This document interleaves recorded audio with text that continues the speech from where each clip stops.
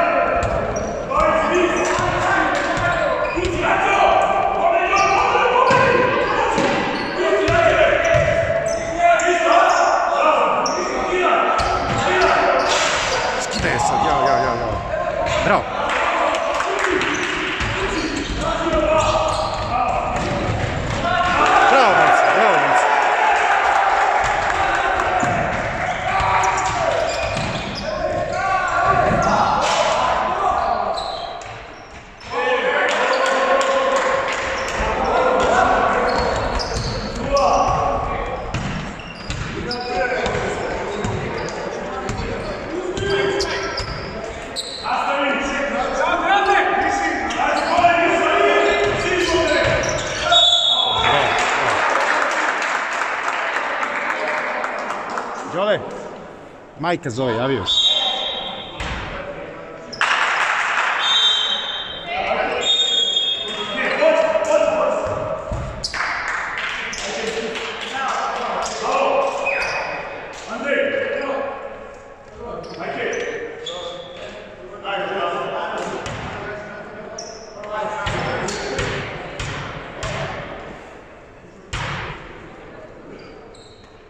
Bravo.